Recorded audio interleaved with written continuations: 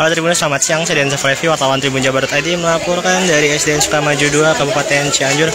Bahwa seperti ini untuk kondisi eh, para pengungsi yang ada di SDN Sukamaju 2 di mana banyak sekali anak-anak yang ada di pengungsian ini ya Tribuners di mana SD ini menjadi tempat Nah, yang baru saja dihadiri Presiden RI Republik Indonesia Joko Widodo. Jadi seperti ini kondisinya. Nanti akan kita tanyakan bagaimana setelah di pasannya setelah dikunjungi oleh Presiden.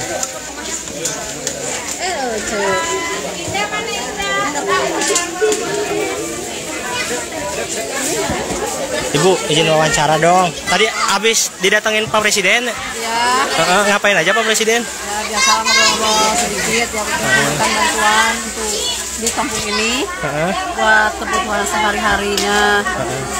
Dapat apa aja Bu tadi?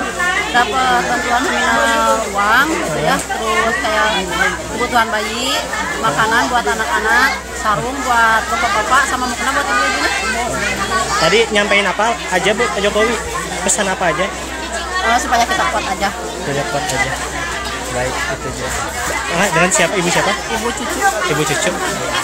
Nah itu dia, Tribunnya salah satu eh, pasal atau yang disampaikan oleh pengungsi Ibu Cucu mengatakan Bapak Presiden Jokowi Widodo berpesan kepada masyarakat yang terdampak harus kuat dan bisa melalui bencana ini ya Tribunas.